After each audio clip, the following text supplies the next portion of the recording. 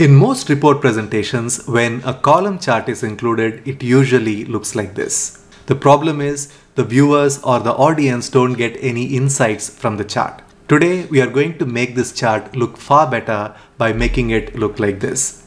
Here, instead of just giving the plain vanilla chart, we are going to provide some useful additional information like on a click, we show what is the maximum value and on a click, we show what is the minimum value.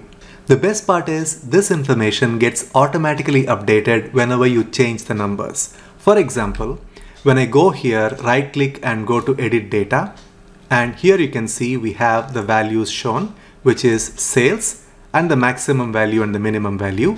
Now, if for example, I change the maximum value to this one, say around 90 and hit enter, immediately that maximum value is picked up and instead of 24 being the minimum value, if I go here and say the value is 12 and I hit enter, now take a look at what has happened to the chart.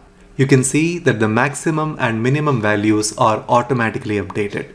So what that means to you is when you learn how to create this chart once, then you can use it as a template and provide this additional information every time you include this chart in a report.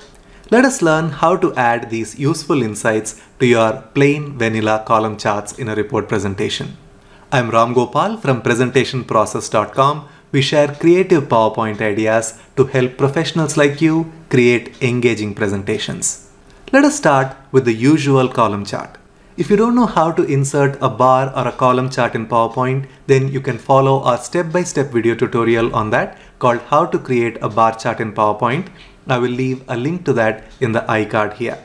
Let us edit this data by right clicking on the chart and we're going to edit data option and that opens up our worksheet attached to it. Now I'm going to click and drag from the corner to show the entire data here. You can see that we have 12 months data and the sales numbers are shown. Now I'm going to add an additional series called Max series. So that is the title called Max.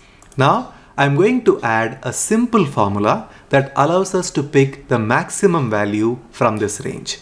Now this formula called the if formula is one of the most important formulas in Excel. The way if formula works is like this. There is a logical test and then you say what happens if the value is true and what happens if the value is false. For example, in our case, we are going to insert this formula.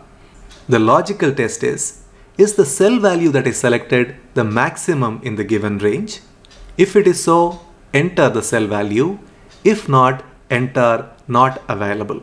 Now you will understand this better when I write the formula and I explain what I am writing. Now let us go back to the new series that we have inserted. Here I am going to insert the formula. To insert the formula, first you need to type equals. Then you say if and as soon as you write if, you can see that we have some suggestions here. Let us double click on the first one and here we have the structure of the formula. What is the logical test we want? We need to check if this cell equals maximum and here you can see that we have a ready-made function available maximum of this entire range and then we close the parenthesis and we say comma now we go to the next one which says what is the value if true? The value if true needs to be this cell value, comma. What is the value if false? It needs to be not available. The way we show not available is by saying NA, open and close parenthesis. So we have defined what is the logical test, what happens if the value is true and what happens if the value is false now we can close the formula by writing another close parenthesis and hit enter. Now as soon as I did that you can see that we have NA available in all these cells but for these two cells which have the maximum value. Now you can see that 89 has occurred twice and that is the reason why these two are showing as the maximum value. Now let us pretend that this number is 92 and hit enter. You can see since this is the maximum value here, only that number is shown. Now I'm going to add another column and that is our min series. Here we are going to copy the same formula that we used earlier and we are going to make a minor correction. Let me select this. right click and copy and go here, right click and paste. Let me double click on this and that shows the formula. Here I'm going to say is this the minimum value? You can see that we have a ready-made function called min. If the cell is the minimum in the entire range, then you return the cell value. Otherwise you say NA, open and close parenthesis and let me hit enter. Now I have got my minimum value in this range.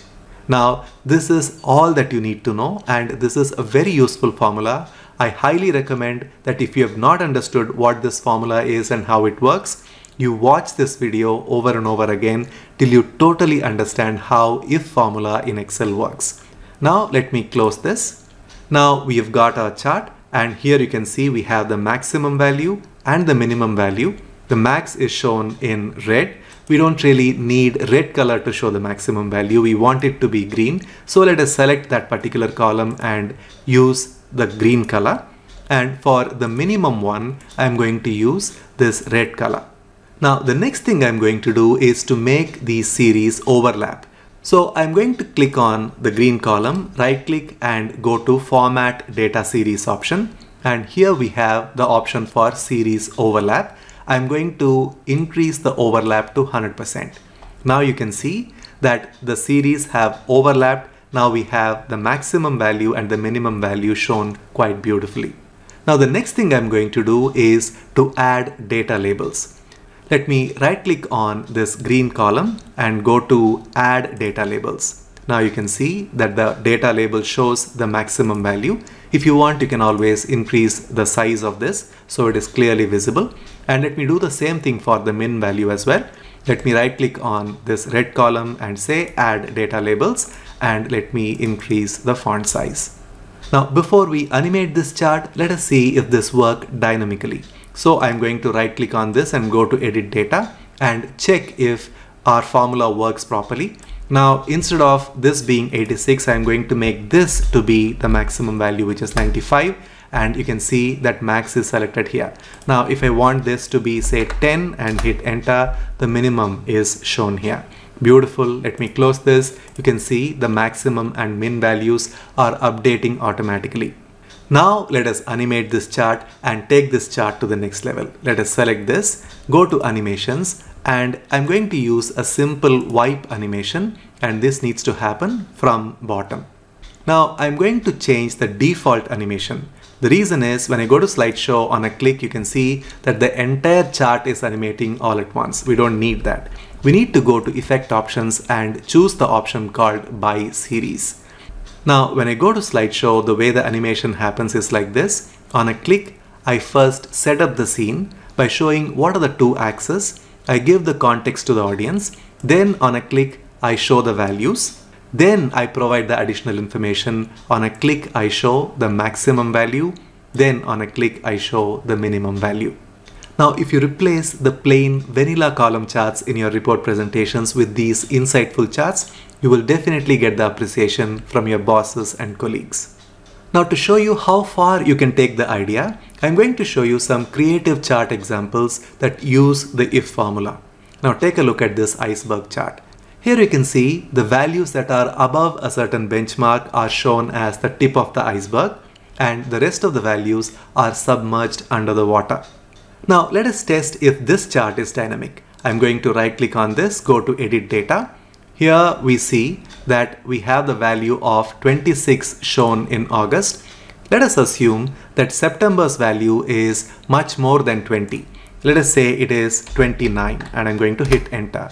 Immediately you can see that this particular number has come above water and we have the data label shown. Now let me go to another chart. This one looks like an infographic, but this is a data-driven chart. Now, all these that I'm showing you are part of comprehensive all-in-one PowerPoint bundle templates. Let me go here and the value is shown as 98%. You can see that these boxes count to 98. Let us say I have a different value here, which is 74. I'm going to right click on this, go to edit data and you can see that only the values that you require to enter the value are shown in yellow. Everything else is grayed out.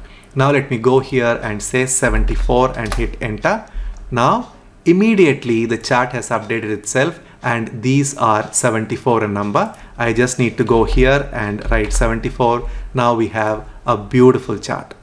Let me show you another creative chart taken from our comprehensive all-in-one PowerPoint bundle version 2.0. This chart shows percentage expenses based on a dollar bill. Of course, you can always change this to rupee or any other currency that you want. Now I'm going to right click on this and go to edit data and I can update the values here. For example, if I say the food is 450 and that is the value shown here, if this is supposed to be say around 600 and I say enter, immediately the value is shown and the division happens automatically. When you apply a bit of creativity, your column charts can look as beautiful as this. You can even have column charts as vertical sliders. You can see that the values are shown quite beautifully and of course all of these change dynamically. And finally, a pie chart can look as beautiful as this when you apply creativity. When you don't have the time to create these beautiful charts for yourself, you can always get our ready-made solution called Comprehensive All-in-One PowerPoint Bundle version 2.0.